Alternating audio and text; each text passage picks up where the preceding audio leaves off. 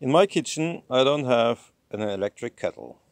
My electricity is limited to three devices. I have this radio, and I have the headlamp that is in use right now, and that is, and then there's the phone that is in use right now. So, I get my hot water from a stove, and when I get up in the morning, I would like to start my morning by a plate of porridge and um, a cup of tea. And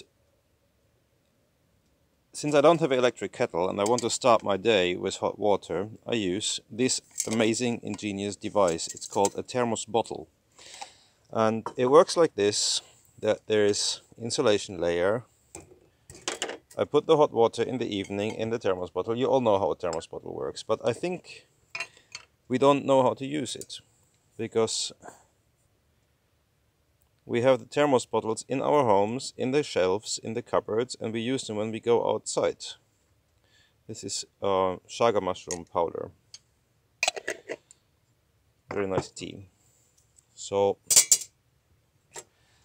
we have the thermos bottles in our shelves. We take them with us when we go outside sometimes somewhere.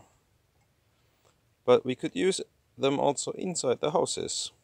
Boil water once, fill up the thermos bottle, use it until it's empty, and then make some new water. Instead of boiling just one cup of water, heating up a lot more, and letting that go cold, and then heat it up again and let it go cold, and so on.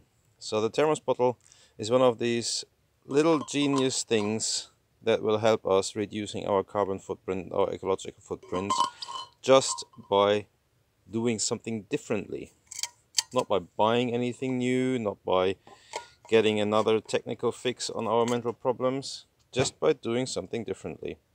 And I really like this.